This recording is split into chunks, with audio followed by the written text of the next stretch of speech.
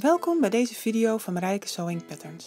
Open het patroon met Adobe Reader. Dit programma kun je gratis downloaden.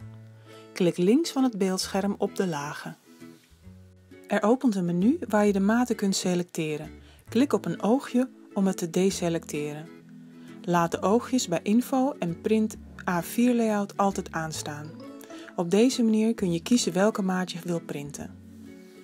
Het is belangrijk dat je eerst alleen de eerste pagina print.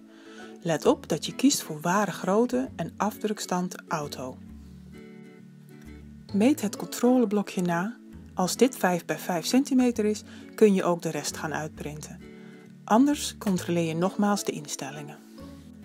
Plak de A4-bladen per rij aan elkaar door de rode lijnen precies op elkaar te leggen. Je kunt het ook uitknippen langs de rode lijn, maar dat is wat meer werk. Plak de bladen aan elkaar met plakband of gebruik lijm. Als de rijen aan elkaar geplakt zijn, kun je de rijen onderling met elkaar verbinden.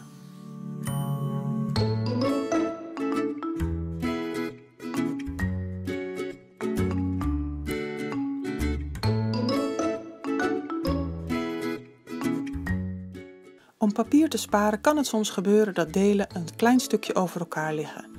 Je kunt deze dan bijvoorbeeld met doorzichtig patroontekenpapier overtrekken of je knipt het uit en je repareert het gat op deze manier.